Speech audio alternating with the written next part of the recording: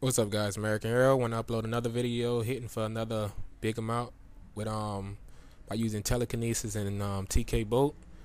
Trying to tell you, not on a buff soda, and this is with just on the CC trinket. That's it this time, this video. But um telekinesis and tele uh, TK Bolt is the way to go for mental. Uh, give it a try. And, uh, rifle, rifle always. I tried hand blasters, but the hand blasters not gonna work as smooth as rifle.